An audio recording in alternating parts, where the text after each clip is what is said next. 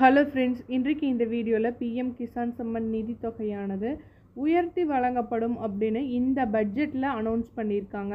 அது யார் யாருக்கெல்லாம் கிடைக்கும்? இந்த பதிமூன்றாவது தவணையை பெற முக்கியமான நிபந்தனை ஒன்றும் போட்டிருக்காங்க. இதை செய்தால் மட்டுமே கிடைக்கும்.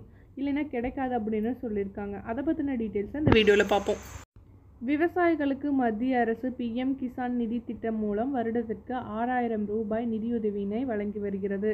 இது விவசாயிகளின் உற்பத்தியை பெருக்கவும் வருமானத்தை அதிகரிக்கவும் ஒரு முக்கிய பங்காக இருக்கிறது. இதன் மூலம் நாடு முழுவதும் பனிரெண்டு கோடிக்கும் அதிகமான விவசாயிகள் பயன்பெற்று வருகின்றனர். இந்த பதிமூன்றாவது தவணையை பெற முக்கியமான ஒரு கண்டிஷனும் போட்டிருக்காங்க. அது என்ன அப்படின்னு பார்த்தீங்கன்னா உங்களோட பிஎம் கிசான் அக்கௌண்ட்டோட உங்களோட ஆதார் கார்டை லிங்க் பண்ணணும். அதோடு சேர்த்து லேண்டு டாக்குமெண்ட்ஸை இன்னொரு டைம் வெரிஃபை பண்ணணும் அப்படின்னு சொல்லியிருக்காங்க. இதை பண்ணினா மட்டுமே தான் இந்த தவணை பதிமூன்றாவது தவணையானது கிடைக்கும் அப்படின்னு சொல்லியிருக்காங்க. இதோடு சேர்த்து ஒரு முக்கியமான விஷயம் என்ன அப்படின்னா இந்த தவணையை உயர்த்தி வழங்கப்பட வேண்டும் அப்படிங்கிறது பல்வேறு விதமான விவசாயிகளிடமிருந்து கோரிக்கை வைக்கப்பட்டு வருகிறது.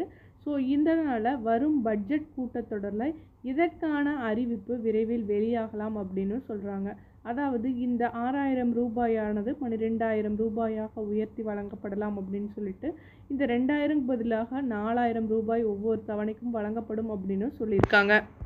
அதோடு சேர்த்து பதிமூன்றாவது தவணையும் ஜனவரி மாத இறுதிக்குள் அனைவருக்கும் வழங்கப்பட்டுவிடும் அப்படின்னு சொல்லியிருக்காங்க.